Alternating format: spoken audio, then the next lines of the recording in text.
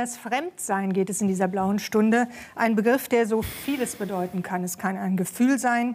Ich kann mich fremd fühlen in einem Land, einer Stadt, einer Gruppe. Ich kann mir auch selbst fremd sein. Oft bedeutet Fremdsein aber auch Anderssein, Ausgrenzung, Ablehnung, Hass, Konflikte, Gewalt. Meine Gäste auf dem blauen Sofa haben sich in ihren Büchern auf ganz unterschiedliche Weise mit dem Thema Fremdsein auseinandergesetzt. Ich darf begrüßen Andreas Kossert. Er hat viele Jahre zum Thema Flucht und Vertreibung im 20. Jahrhundert geforscht, Bestseller dazu geschrieben wie Kalte Heimat. Flucht, eine Menschheitsgeschichte heißt sein neues Buch. Denn Flucht ist ein Thema, das uns alle angeht, weil es jeden von uns treffen kann. Herzlich willkommen. Herzlich willkommen auch Ahmad Mansour. Er lebt seit 2004 in Berlin, arbeitet für Projekte gegen Extremismus, viel mit Jugendlichen. Sein jüngstes Buch Solidarisch sein gegen Rassismus, Antisemitismus und Hass geht der Frage nach, wie wir als Gesellschaft gegen das Virus des Rassismus und seine zerstörerische Kraft angehen können und sollten. Herzlich willkommen. Und herzlich willkommen auch Elsa Köster. Sie arbeitet als politische Redakteurin bei der Wochenzeitung Der Freitag. Couscous mit Zimt ist ihr erstes Werk, ein Familienroman rund um drei Generationen, drei starke Frauen und ihre Verbindung zur französischen Kolonialgeschichte. Es ist eine, ein Roman auch um die Frage von Identität und Heimat. Frau Köster, Couscous mit Zimt hat ja auch ähm, autobiografische Elemente. Sie haben es angefangen als einen persönlichen Roman, aber dann haben sich die Figuren verselbstständigt. Genau, ähm, so war das. Ich habe angefangen ähm, mit dem Roman, ähm, als ich das erste Mal seit langer Zeit wieder im Mittelmeer war, nach langen Jahren. Und ähm, als ich da ankam, das Licht und die Gerüche mich, also eine Sehnsucht in mir frei äh, ausgelöst haben, die ähm, mich ein bisschen überwältigt hat und die ich nicht ganz verstehen konnte. Ähm, und dann habe ich angefangen, mich damit zu beschäftigen, dass meine Mutter in Tunesien groß geworden ist, also bis sie 14 war. Und dann als, äh, also als Kolonialfranzösin und dann als Pied Noir ähm, nach Frankreich gekommen ist mit 14. Und man sagt, die Franzosen sind zurückgekehrt, aber mir wurde klar, sie ist ja gar nicht zurückgekehrt, denn sie ist ja nie vorher in Frankreich richtig gewesen, höchstens im Urlaub. Ähm, und genau, so habe ich angefangen, den Roman zu schreiben über Marie, die aus Tunesien äh, mit 14 nach Frankreich gekommen ist und sich dort fremd gefühlt hat, ähm, als eigentlich in Tunesien aufgewachsene und mit der französischen europäischen Kultur ähm, erstmal gar nicht so viel anfangen konnte, weil sie ein ganz anderes Leben geführt hat als Kind ähm, in der Natur, viele in der Natur unterwegs in Tunesien. Ähm, und so habe ich mich langsam äh, durch die Familiengeschichte gehangelt. Ähm, und Couscous mit Zimt äh, heißt das Buch, ähm, weil bei uns in der Familie an Feiertagen Couscous gekocht wird. Ähm, was auch, das ist immer noch so. Das ist immer noch so. Und äh, das war für Freunde von mir komisch. Ich fand das nie komisch. Ähm, und ähm, die Frage in der Familie ist immer, das äh, richtige Rezept zu finden oder die richtige Gewürzmischung. Ähm, Couscous kocht man mit Ras el Hanout, das ist ähm, eine Gewürzmischung, äh, wo Zimt eine Rolle spielt. Und die Frage ist immer, wie viel Zimt, denn ähm, zu wenig, dann ist er nicht würzig genug. Wenn man ihn aber rausschmeckt, dann ist ähm, eigentlich das äh, Gericht nicht gelungen. Dann war es daneben. Genau. Sie haben erwähnt, äh, Ihre Mutter ist als Pied Noir äh, aus Tunesien gekommen. Äh, mich hat das erstaunt, dass in dem Roman das so ähm, selbstverständlich thematisiert wird. In Frankreich ist es ja ein äh, sehr rassistisch konnotiertes Schimpfwort fast. So habe ich es erlebt, als ich Anfang der 80er in Frankreich studiert habe. Ist das in Tunesien anders? Äh, wie es in Tunesien ist, kann ich tatsächlich mhm. nicht sagen. Ich kann sagen, wie es äh, bei uns, also ich weiß, dass es in Frankreich ein Schimpfwort ist. Pied noir heißt Schwarzfüße. Ähm, man weiß nicht genau, woher es kommt. Ähm, es gibt die Geschichte, ähm, dass französische Soldaten schwarze Stiefel hatten bei der Kolonisierung von Algerien, Marokko und Tunesien und man deswegen Pied noir sagt. Es gibt die Geschichte, dass es mit der Ernte und dem Wein zu tun hat und dass also von dem, von dem Weinstampfen mit den Füßen, Rotwein und die Füße dreckig wurden. Ähm, und bei mir in der Familie hat man sich erzählt, nein, das ist, weil wir uns im Maghreb die Füße verbrannt haben. Also wir haben versucht, uns das Land zu, zu nehmen, wir haben uns die Füße verbrannt und mussten deswegen zurück. Es war zu heiß. Ähm, das heißt, ähm, dieses Abwertende spielte, glaube ich, eine große Rolle für die äh, Franzosen, die zurückgekehrt sind nach Frankreich. Ähm, es hat diese rassistische Komponente von sich dreckig gemacht zu haben, was also einfach an diesem krassen Rassismus gegenüber der arabischen Kultur liegt. Ähm, also zu stark äh, mit der arabischen Kultur in Kontakt gekommen zu sein und jetzt keine richtigen Europäerinnen, Französinnen mehr zu sein, sondern sich dreckig gemacht zu haben. Pied noir. Ähm, und es gab auch solche Beschimpfungen. Und das ähm, zum Beispiel auch, weil ähm, man sich angewöhnt hatte, auch als Franzosen in äh, Algerien oder Tunesien, auf dem Markt an dem Obst, Gemüse zu riechen, um zu gucken, ob es, äh, ob es reif ist. Und das galt in Frankreich als total verpönt. Ja? Man, ähm, die Nase, also das, ist, das, macht man nicht, das ist unzivilisiert. Ähm, und so haben natürlich dann die Franzosen einen gewissen Rassismus erfahren, als sie in Frankreich ankamen ähm, aus Algerien, den sie vorher vielleicht selber ein bisschen kultiviert haben gegenüber der arabischen Bevölkerung als Kolonialfranzösin. Und das fand ich sehr interessant, wie sich sowas wandeln kann. Mhm. Also wer, wer plötzlich wer herabsetzt und plötzlich in die Rolle kommt, herabgesetzt zu werden. Wer plötzlich ausgegrenzt wird. Herr Mansur, Sie haben Ihr Buch den Pädagogen und Sozialarbeitern gewidmet, die von unserer Gesellschaft oft viel zu sehr allein gelassen werden. Und Sie schreiben aber auch viel über die Einsamkeit und die Sprachlosigkeit der Kinder, mit denen Sie arbeiten. Ja, in diesem Fall einen Tag nach Hanau. Ähm, ich äh, war zufällig in einer Schule und auf dem Weg dahin, da kam die Erinnerung hoch, weil ich natürlich auch mit dem Terror groß geworden bin. Und da war schon programmiert, wie, ähm, mhm. was passiert eigentlich. Mit dem Terror groß geworden, weil Sie in Israel, in Israel geboren genau. wurden. Ja. ja. also ich bin mit 28 nach Deutschland gekommen und habe eigentlich die Hoffnung gehabt, das hinter mir zu lassen. Und auf einmal sitze ich im Auto ähm, Richtung, äh, äh die, also der, auf dem Weg zur Schule und ich merke, dass diese Erinnerungen hochkommen. Und ich habe gewartet auf diese Solidarität, auf dieses Programm, der eigentlich immer abläuft in Israel, ein paar Stunden nach dem Anschlag, wie äh, in den Schulen mit den Kindern umgegangen wird, was man eigentlich erzählt, wie man die Menschen auch seelisch unterstützt. Und ich kam in eine Schule und äh, das Leben ging weiter. Und ich habe äh, dieses Gefühl, diese Unterstützung, diese Solidarität gesucht und nicht gefunden. Übrigens nicht nur nach Hanau, sondern fast bei allen Anschlägen, die ich in Deutschland erlebt habe. Und ich habe leider äh, mehrere erleben müssen. Und da kam bei mir die Frage, was machen wir eigentlich als Gesellschaft? Wie gehen wir damit um? Wie verlassen wir diese Sonntagsreden und äh, diese Mahnwachen, die immer kurzfristig äh, sind und gehen in Richtung wirklich Unterstützung von Opfern und von potenzieller Opfer von Terrorismus und wie können wir das nachhaltig vor allem machen? Und das äh, ist die Frage, die ich im Buch versuche zu beantworten. Sie machen ja auch ganz konkrete Vorschläge. Wo setzen Sie vor allem an? Also ich mache das immer für die Politiker, weil ich habe beobachtet bei meinen letzten zwei Büchern, dass sie äh, nicht so äh, lange lesen wollen und sie wollen ganz konkrete Vorschläge. Das habe ich immer gemacht und auch dieses Mal und dieses Mal aber vor allem als Psychologe, weil ich habe die Frage nachgegangen, was hilft eigentlich gegen Rassismus? Welche Rezepte äh, wirken auch in den, äh, in, in den Forschungen? Und die einzige, was hilft, ist Begegnung. Begegnung auf Augenhöhe mit den Menschen zusammen zu sein, mit den Menschen zu leben, in den Schulen zu gehen, äh, äh, zusammen zu wohnen. Und dann versuchte ich die Frage zu beantworten, auch für die Politiker, wie kann eine Politik aussehen, die Begegnung im Alltag schafft, Rassismus abbaut und vor allem uns auch präventiv sozusagen ähm, stark macht gegen, gegen Antisemitismus und Rassismus? Wie kann eine empathische Gesellschaft entstehen? Wie können wir Empathie wieder als ein Ziel auch in unserer Erziehung, auch bei den, unseren Kindern? Äh, ja, und das sind Fragen, die mich äh, nicht nur seit äh, jetzt Hanau beschäftigen, sondern in meiner Arbeit auch in Gefängnissen, auch mit äh, radikalen, äh, extremistischen Personen, ähm, etwas, was ja, seitdem ich fast in Deutschland bin, mich begleitet.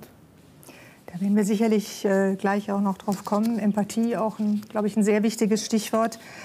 Herr Kossert, ähm, Sie beschreiben Flucht als, ein, als eine fundamentale Menschheitserfahrung, im Grunde genommen von der Bibel bis Syrien, also ein sehr mutiger Bogen.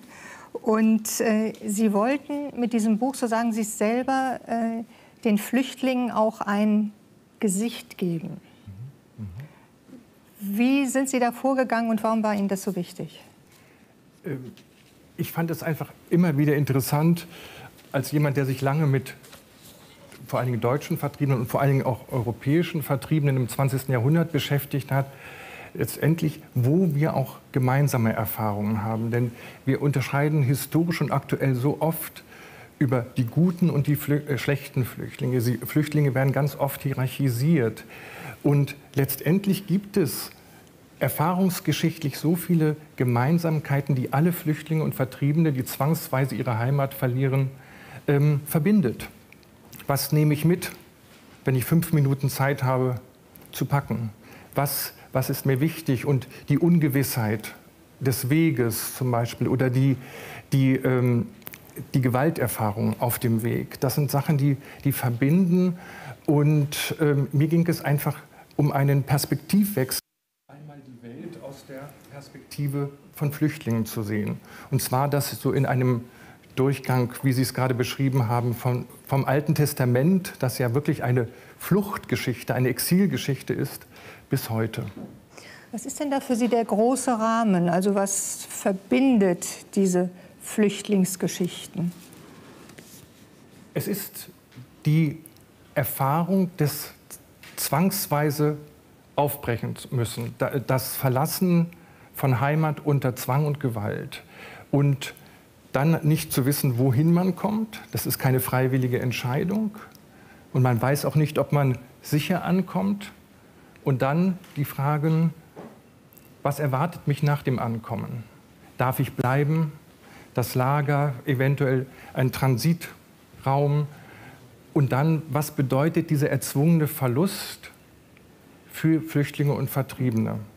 Denn sie leben ja in dieser ständigen Ambivalenz zwischen, dem, zwischen der alten Heimat und der Gegenwart, weil sie sie zwangsweise verlassen mussten. Und genau diese Spannung, glaube ich, diese Ambivalenz macht eben es schwierig auch für Flüchtlinge und Vertriebene. Was bedeutet Identität ganz konkret für mich, wenn ich zwangsweise meine Heimat verlassen musste? Darf ich, darf ich da gleich mhm. einhaken? Denn ähm, ich muss sagen, da fällt quasi mein Buch oder das, was ich erzählen möchte, schon wieder raus. Denn äh, fliehen mussten Pied Noir oder zumindest meine Familie aus Tunesien nicht. Es ist ein bisschen anders als in Algerien, wo es Krieg gab, wo auch viele Franzosen von heute auf morgen, genau wie Sie sagen, den Koffer packen mussten in fünf Minuten und zusehen mussten, dass sie wegkommen. Ähm, aber in Tunesien gab es äh, keinen Krieg, es gab einige Anschläge, aber es gab nicht diese große Gefahr. Mhm. Ähm, auch meine Familie konnte ganz in Ruhe ähm, den Umzug planen, ähm, alles mit einpacken, was man brauchte. Ähm, es war ein Umzug, es war keine Flucht. Und ähm, dazu kommt natürlich, dass bei der Rückkehr quasi, also die meisten oder sehr viele Pied Noirs hatten noch Familie mhm. in Frankreich, konnten also erstmal irgendwo ankommen, unterkommen. Ähm, das heißt, ganz viel von dem, was Sie sagen, trifft eigentlich ja nicht zu. Und gleichzeitig ist, so, also ist unser Thema heute ja Fremdsein. Und das finde ich interessant, auch nochmal den Unterschied zu machen zwischen Flucht und Migration. Ähm, und dann nochmal weiße Migration ist, ist nochmal was anderes. Also wir wissen ja, ein Viertel der Bevölkerung in Deutschland haben Migrationshintergrund. Damit, da ist mitgezählt auch weiße, also Leute, die auch aus Frankreich oder Großbritannien oder Schweden nach Deutschland gekommen sind, die gewisse Erfahrungen der Fremdheit sicherlich machen, aber keine Fluchterfahrungen, ähm, oft keine Gewalterfahrungen ähm, und auch keine Diskriminierungserfahrungen machen. Mhm. Und also da wäre mir wichtig, dass man das auseinanderhält. Mhm. Absolut, was auch ja auch die äh, Flüchtlingswelle von 2015 zum Teil auch trifft. Also es waren richtige Flüchtlinge dabei, die genau diese Erfahrung gemacht haben. Und es waren Menschen, die ihre Heimat aus unterschiedlichen Gründen verlassen wollten oder verlassen, verlassen mussten, ähm, die teilweise auch die Zeit gehabt haben, auch äh, alles zu vorbereiten auf dem Weg hierher. Ähm, aber trotzdem diese Fremdsein, also ich bin auch kein Flüchtlinger. Ich habe entschieden, bewusst das Land zu verlassen, aus unterschiedlichen Gründen. Ich habe ein Flugzeug genommen, bin hierher gekommen und für mich waren die ersten Monate und Jahre eine Trauma, eine seelische Belastung. Irgendwo da zu sein, wo man hilflos, wo man auch sprachlos, wo man nicht sich beteiligen kann, wo man wie ein Kind alles neu lernen muss. Und zwar nicht nur die Sprache, auch die Kleinigkeiten, wie man miteinander umgeht. Und das Thema Rezepte ist etwas, was mich absolut bis heute begleitet und viele Menschen, mit denen ich auch arbeite im Alltag. Also diese, diese Heimat hierher zu holen. Also ich versuche zum Beispiel mit Hummus das irgendwie zu erreichen. Also den Hummus zu, äh, zu kochen zu kochen, um ein bisschen Heimat zu haben. Auch wenn ich immer reise und meine Familie besuche, ich komme immer mit dem Heimat zurück. Ich bringe 25 Kilo, das, was ich darf, an Essen, was ich hier in Deutschland nicht habe. Und ich versuche das im Tiefkühlschrank so lange zu behalten, damit ich diese Heimat in mir trage. Und das sind Erfahrungen von Fremdsein oder diese, diese Erinnerung an Heimat, die Menschen Jahre, wenn nicht Jahrzehnte auch begleitet.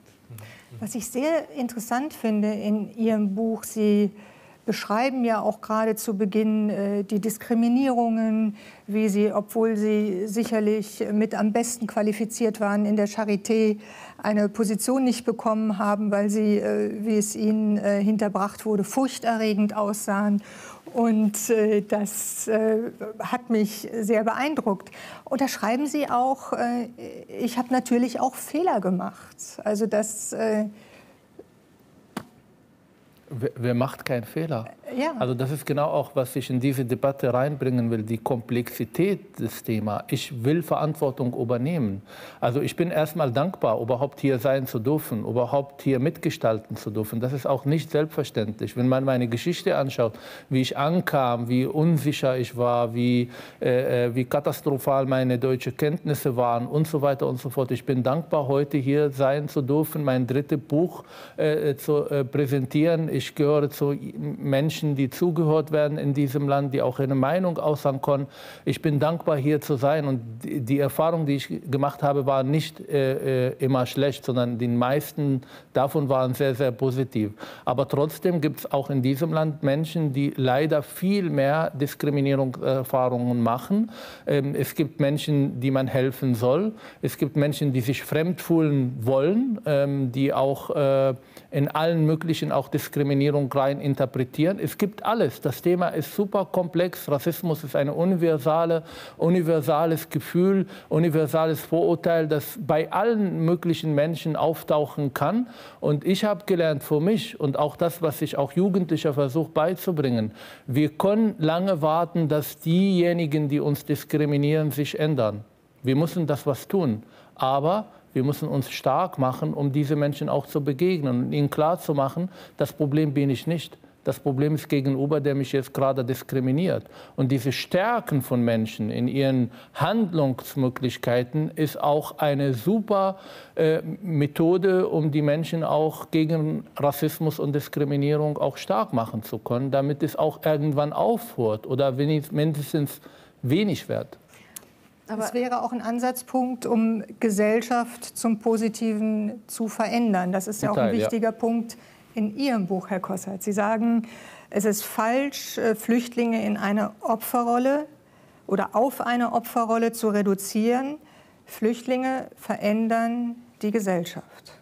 Genau, aber das erkennen wir eben nur, wenn wir ihnen zuhören. Das hat Ahmed Mansour gerade gesagt, eben das Zuhören. Wie erreichen wir es, dass zum Beispiel Flüchtlinge mit unterschiedlichen Fluchterfahrungen miteinander ins Gespräch kommen und sie nicht hierarchisieren, sondern wirklich sich zuhören und eben zu begreifen, dass eben ein, ein Nachbar, eine Nachbarin ähm, vielleicht ein, unter einem Heimatverlust leidet, der eben durchaus traumatisch sein kann. Und, und diese Geschichten sich anzuhören und ernst zu nehmen, sind meiner Meinung nach auch ein ganz wichtiger Bestandteil, damit Integration überhaupt gelingen kann. Das ist also eine Grundvoraussetzung dieses Zuhören. Gab es Phasen, wo besonders gut zugehört wurde? Also wenn es um Flüchtlinge und Vertriebene geht, eigentlich nicht, muss ich sagen. Also, äh, also das ist ein beständiges Muster. Ja, also Sie kommen und müssen sich eine genau. Stimme genau. verschaffen. Genau, ja. Und erstmal, also letztendlich Willkommenskultur ist die historische Ausnahme. Das muss man also ganz deutlich sagen. Und ähm, wir merken eben auch, wenn Flüchtlinge offen, äh, zu lange bleiben, offensichtlich zu lange bleiben, dann verändert sich oftmals auch die Stimmung im Land. Und letztendlich geht es eben auch immer wieder um Fremdheit und das ist eben ein Cultural Clash. Ähm, und nach 1945 ähm, wurden eben auch die, zum Beispiel die Deutschen, die aus dem Osten kamen, auch ähm, als Fremde angesehen. Und, und, und Fremdheit, unsere Vorstellungen von Fremdheit verändern sich eben auch im Laufe der Zeit. Und das ist eben interessant, das auch an, an Beispiel von Flüchtlingen zu zeigen. Sie nicken. Genau, ich, ich nicke. Ich bin gerade in meinem Kopf noch ein bisschen beschäftigt mit diesem Begriff der Dankbarkeit. Denn ähm, weil Sie gesagt haben, Sie sind dankbar, dass Sie hier sein dürfen. Ich habe dann gedacht, ja okay, ich habe dieses Gefühl überhaupt nicht. Man, also ich habe auch einen deutschen Vater, aber ich glaube auch meine Mutter hat dieses Gefühl nicht gehabt, dankbar sein, zu sein, in Deutschland sein zu dürfen oder in Frankreich, obwohl sie das ja vielleicht hätte haben können. Also die Familie ist ähm, nach Tunesien gegangen, hat sich da quasi illegitim eigentlich Land eingeeignet. Dann ist es schief gegangen. Dann kann man ja auch sagen, man ist dankbar, dass man doch wieder zurück darf. Und ich glaube aber schon diese Dankbarkeit ist schon so eine Fremdsetzung, die mich beschäftigt. Denn ähm, niemand würde auf die Idee kommen, mir zu sagen, wenn ich hier irgendwie das politische System kritisiere oder wie irgendwas läuft, äh, sei mal ein bisschen dankbar. Da würde keiner drauf kommen, also mich in diese Rolle zu versetzen. Während ähm, während auch die Kinder von äh, Menschen, die als Migranten hergekommen sind, aus der Türkei etwa, ja immer noch damit konfrontiert werden. Seid doch dankbar, äh, dass ihr und eure Familie hier sein dürft. Das heißt, ich glaube, ähm, das eine ist Fremdsein, wo ich mich viel identifizieren konnte mit diesem Humus. Also wenn ich in Tunesien bin, dann kaufe ich auch unglaublich viel von allem, von dem meine Mutter mir, das, was sie mir mitgebracht hat, gezeigt hat, gesagt hat, toll aus Tunesien, so dragierte äh, Mandeln. Wenn ich die esse, dann das mache ich auch so, ich mir die ganz lange aufbewahre, bis ich die letzte esse. Und das ist immer ein Stück dieser Familiengeschichte, ein Stück Heimat. Ein Stück Heimat. Wir, wir einer meiner Heimat. Einer, äh, einer ihrer Heimaten. Das heißt, da identifiziere ich mich. Und gleichzeitig gibt es einen großen Unterschied, ne, in, in dem, wie ich, also selbstverständlich werde ich als Mitglied dieser Gesellschaft wahrgenommen. Also das ist so selbstverständlich, dass ich das von mir keine Dankbarkeit dafür erwartet. Naja, ich erwarte auch nicht, dass meine Tochter zum Beispiel, die hier geboren, die zu dieser Gesellschaft von Anfang an gehört, auch dankbar sein, dass sie hier in Frieden und äh, in Sicherheit leben darf. Das erwarte ich von ihnen nicht und ich erwarte von keinem. Ich rede über meine mhm. persönliche Erfahrung. Ich bin dazu gekommen. Das heißt, ich konnte einen Beamter haben im Ausländerbehörde, der mir sagt, Herr Mansour, Sie haben kein Recht hier zu bleiben. Also ich habe das so bürokratisch durch gemacht, dass ich jedes Mal dankbar sein, dass ich hier bleiben durfte. Das ist nicht selbstverständlich. Bei Migration, bei Flüchtlingen ist es nicht. Ich treffe auch auf Menschen aus Afghanistan, die sitzen in einer Willkommenklasse in äh, Bayern und sie wissen, dass sie das Land verlassen müssen. Und äh, das sind ganz andere äh, Voraussetzungen, die dabei sind. Und ja, ich bin dankbar. Ich bin dankbar, dass ich nicht nur hier sein darf. Ich bin dankbar, dass ich, dass ich eine Stimme bin. Ich bin dankbar, dass ich hier in Sicherheit leben kann, weil ich das auch anders kenne und weil es auch sehr einfach in eine andere Richtung gehen konnte. Aber ich erwarte das von niemandem. Und natürlich erwarte ich das nicht von der zweiten Generation türkischstämmigen, die hier geboren, aufgewachsen. sind. Natürlich gehören sie zu diesem Land. Aber ich erwarte von jedem in dieser Gesellschaft, dass er zu unserem ähm, Wir-Gefühl gehört, dass er unsere äh, demokratische Grundprinzipien äh, äh, äh treu bleibt, egal ob mit oder ohne Migrationshintergrund. Und steht in meinem Buch, die Trennlinien dürfen nicht zwischen Herkunft und äh, äh, also mit Migrationshintergrund oder ohne, äh, mit Flucht oder ohne, sondern die Trennlinien sollen da laufen, wo Menschen sich demokratisch äußern oder verhalten und undemokratisch verhalten. Und dann haben wir ganz andere äh, Trennlinien als die, die in der äh, äh, Gesellschaft gerade laufen. Es sind auch Trennlinien, die viel mehr Gleichheit erlauben. Absolut. Also weil sie im Grunde genommen äh, die, die Gleichheit zum Ursprung nehmen. Ja. Ich würde gerne noch mal auf den Begriff der, der Identität und der Veränderung dieses Blicks auf Identitäten zurückkommen. Also wir haben ja alle viele Identitäten, mehrere. Also bei dem einen wird das offensichtlicher als bei dem anderen. Also bei Ihnen beiden vielleicht auf den ersten Blick offensichtlicher als bei mir. Äh, beginnt die Problematik da, wo Identität sich äh, mit Ideologie koppelt? Also eigentlich reduziert wird auf eine einzige Identität?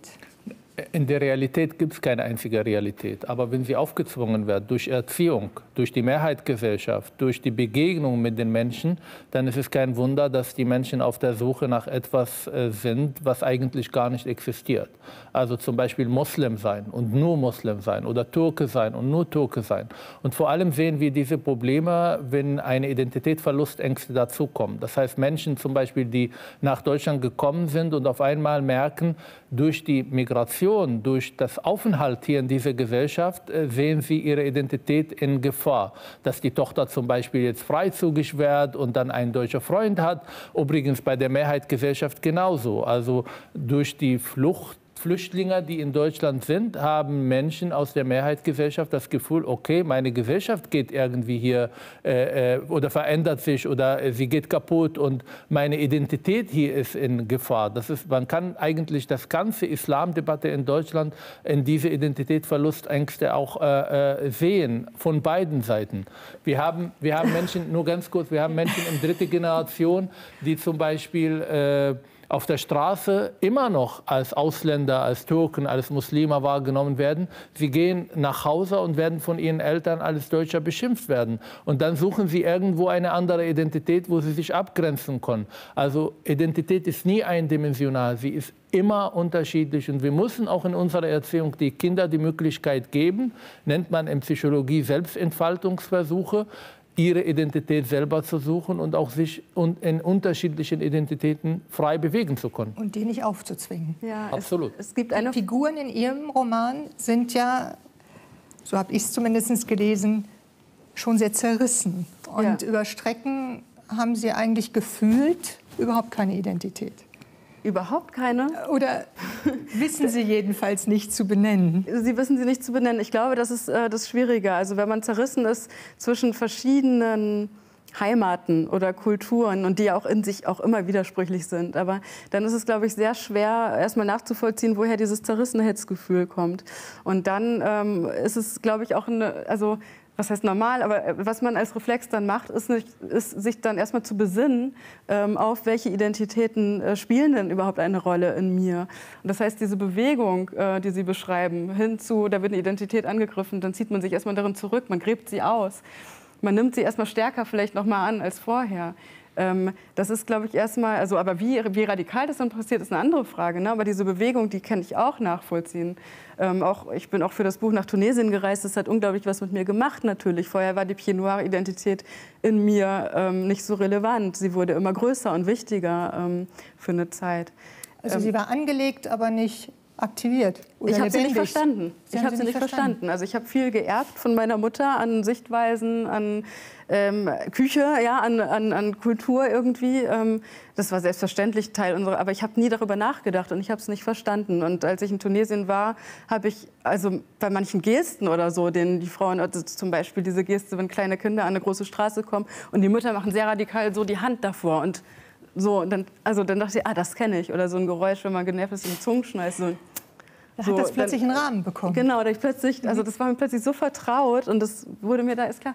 Nur was ich Sie schon immer mal fragen wollte in Ihren Ausführungen, Herr Mansur, ist, wenn Sie von Mehrheitsgesellschaft sprechen, frage ich mich, je mehr ich mich mit Fremdsein und diesen Identitäten in mir und um mich herum beschäftige, wer ist das eigentlich?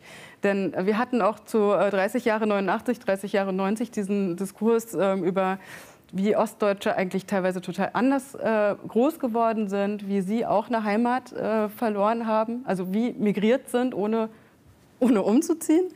Ähm, dann haben wir Leute wie ich, die also eine verworrene Geschichte haben, ähm, französischer Hintergrund, tunesischer Hintergrund. Mein Vater ist Friese. Ähm, so, also je, je, genauer, dann haben wir die Vertriebenen. Als ich ihr Buch gelesen habe, dachte ich auch, meine Gott, also ich wusste das nicht, 15 Millionen Leute. Die auch, also und dann weiß ich auch, dass in der Willkommensbewegung viele davon aufgrund ihrer Familiengeschichte und Vertriebenengeschichte aktiv waren und dachte, ah, interessant, das spielt also auch bis heute noch eine Rolle, ähm, dass man Fremdheit mal erlebt hat. Das heißt, wer ist diese Mehrheitsgesellschaft? Ich, so ich gebe Ihnen, geb Ihnen recht, das ist ein politischer Begriff und das ist eine Fremdzuschreibung, aber es ist etwas, was eigentlich in unseren Köpfen auch äh, äh, existiert. Ähm, ich macht keinen Unterschied. Ich lehne auch den Begriff Migrationshintergrund. Also ich glaube nicht, dass man drei Generationen warten muss, damit die Leute dann irgendwie zur Mehrheitsgesellschaft gehören. Ähm, ich will auch diese Unterschiede nicht machen, aber es ist ein politischer Begriff, den man nutzt und das ist eine Fremdzuschreibung von beiden Seiten. Von denjenigen, die seit langem hier leben und von denjenigen, die äh, neu dazugekommen sind. Aber Mehrheitsgesellschaft ist doch kein statischer Begriff. Nee.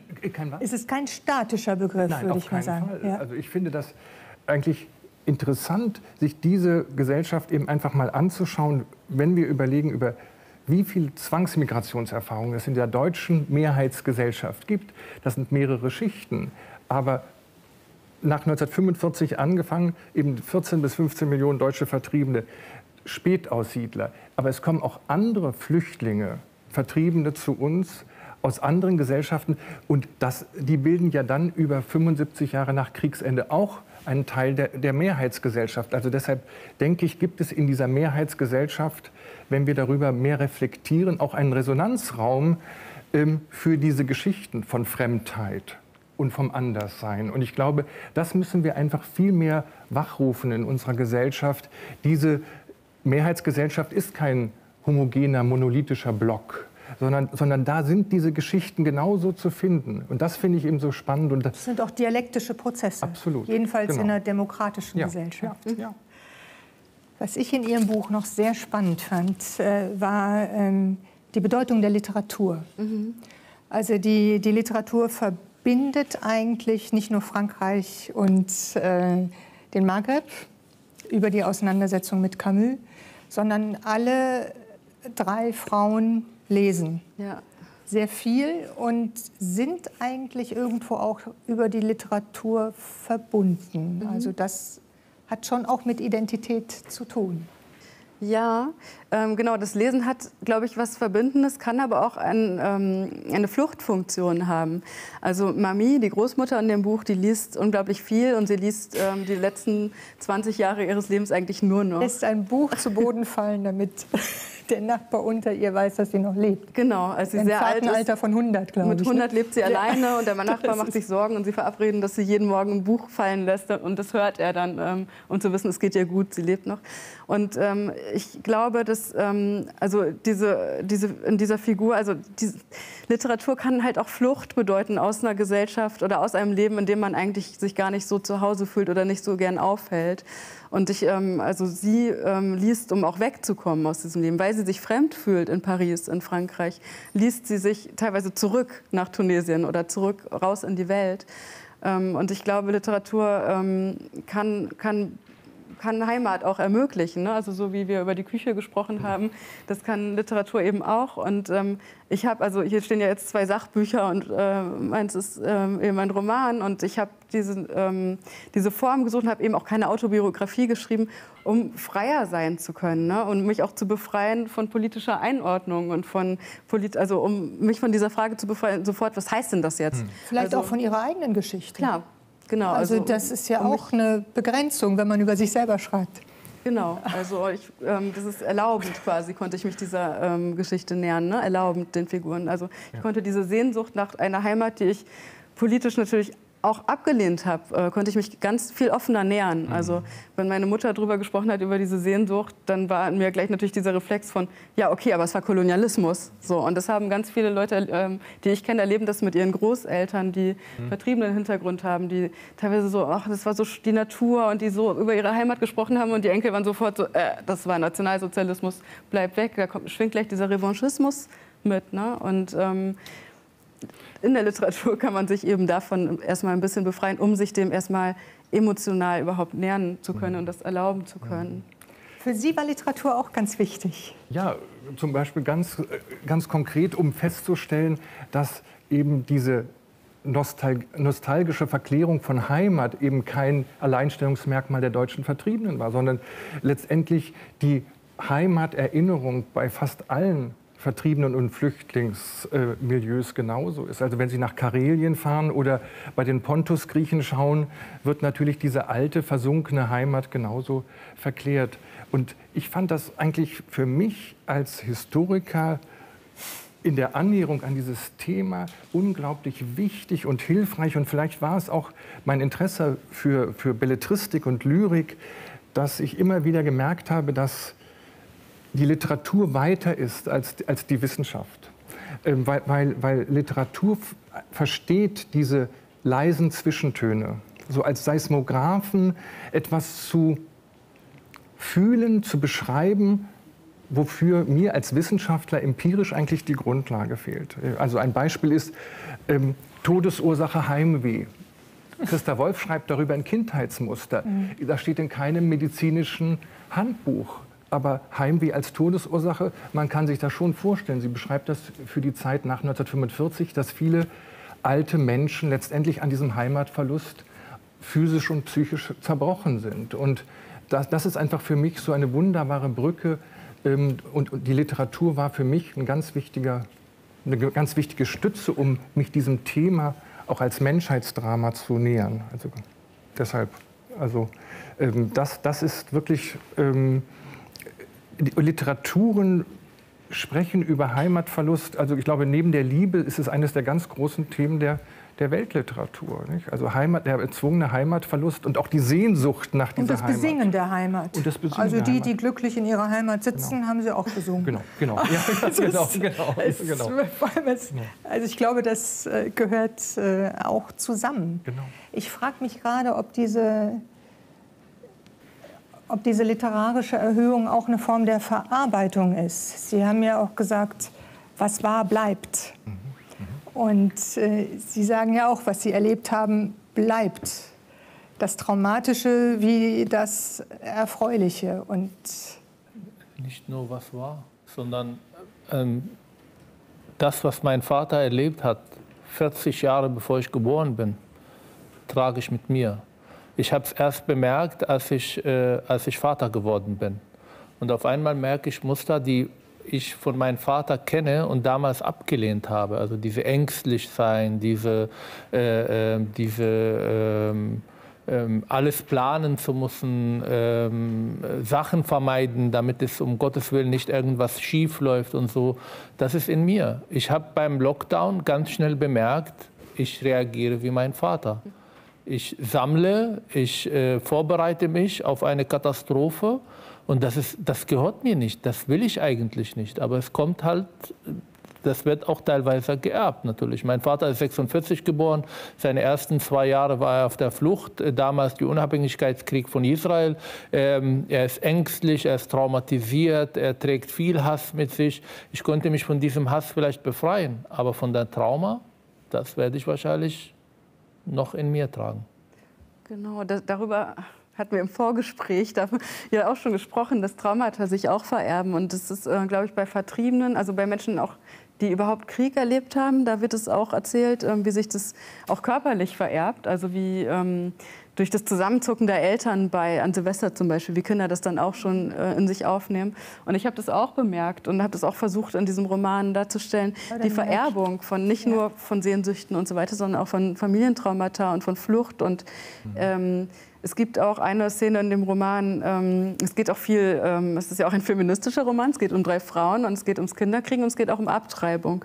Und es gibt ähm, eine Szene, wie ähm, Lisa, also jetzt die dritte Generation, die Enkelin ähm, quasi, diese Wohnung betritt in Paris ähm, und ins Badezimmer geht und Angst, also richtig Angst bekommt und äh, vor diesem Badezimmer, weil sie weiß und aus Erzählungen kennt, dass ihre Mutter sehr jung dort eine Abtreibung hatte und ähm, sie also das ist intuitiv. Ne? Ich versuche das zu beschreiben, wie das sich vererbt hat, durch, nicht nur über die Erzählung, sondern auch über das Körpergedächtnis, diese Erzählungen, die weitergegeben werden. Das heißt, man kann Dinge nicht nur, ähm, also man weiß nicht nur rational aus Erzählungen der Eltern und Großeltern, sondern körperlich wird es vererbt, diese Traumata. Und das finde ich sehr interessant. In, interessanterweise, das habe ich, ähm, natürlich kommt immer die Frage, ob ich auf Deutsch träume oder nicht. Und ich kann das nicht feststellen, keine Ahnung. Aber alle meine Albträume finden immer in diesem kleinen Dorf, wo ich geboren bin. Also da, wenn ich aus Angst aufwache, dann ist es nie in Deutschland. Es ist immer da, wo ich geboren bin. Ja. ist bemerkenswert. Ja. Das Zusammenführen dieser Identitäten, dieser unterschiedlichen, also mal historisch gesehen, diese, dieses Was war, endet nicht, haben Sie es genannt.